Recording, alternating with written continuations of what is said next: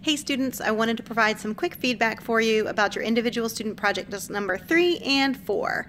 Um, the first is that you did a really good job of following the instructions. I appreciate both the sample writing you provided, the outlines you did, um, and I'm really interested in a lot of these topics that you've selected. Some of them are fresh and brand new for me, um, so that's pretty hard to do since I've been teaching humanities for almost 10 years.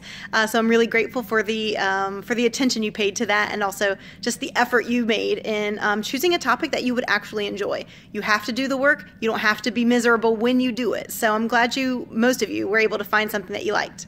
All right, here are a few things that a lot of people made mistakes about, and I want to make sure that you get this feedback. First is um, many of you wrote the paper or gave me a sample that was very history oriented, so lots of facts, lots of um, details, uh, but not necessarily um, an analytic perspective. So you didn't identify an element and then take it apart um, or talk about how it relates to other elements and or not a lot of information about the compare and contrast. So make sure you stay focused to the type of project we're doing. They're not doing a history report. We're doing an analytical essay or a compare and contrast essay. All right? All right, number 2 basically nobody, maybe like two students, provided in text citations for their sample written work. And that's okay. I didn't take off points for that, but this is a really important thing that I need to make sure you know that when you do citations, it's not just at the end of the essay with a works cited or reference page, that you should do in text citations. And there are lots of examples of that in the information literacy module that you just completed. So take a look at that and also take a look at the Purdue OWL Online Writing Lab website.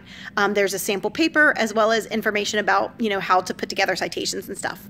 All right, let's see here. Number three, academic sources. A lot of you used web sources that are popular, uh, not scholarly, and that's okay. Those sources are good. You should use them. You should cite them awesome. But you have to have academic sources too, because this paper isn't just about, you know, learning more. It's also about developing the skill set to do academic prose. So go to the library website and search in the database Academic Search Complete with your keywords. And I would be surprised if you can't find some academic sources there.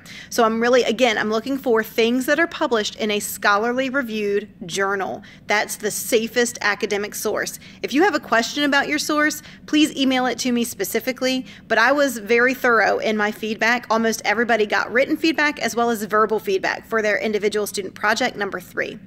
Um, let's see here. Final thing, please take advantage of the extra credit. Um, if you go to the Writing Center once, you get two points. If you go back again, you get another three points. Your paper is better because they helped you. Um, it makes it easier to grade for me. I mean, it's just better. And then plus you get these extra five points. So not only is your paper better, and you probably will go from a C to a B or a B to an A just because of their feedback, then you've got these extra five points that will definitely push you over the edge and make sure you get that extra um, extra points. And if you get a perfect score plus five points, then I'm going to give you a perfect score plus five points. Uh, so that's going to help your overall point contribution to the entire course too. All right, so if you have any questions, make sure you get in touch with me. I'm very much looking forward to reading your individual student projects for uh, ISP number four.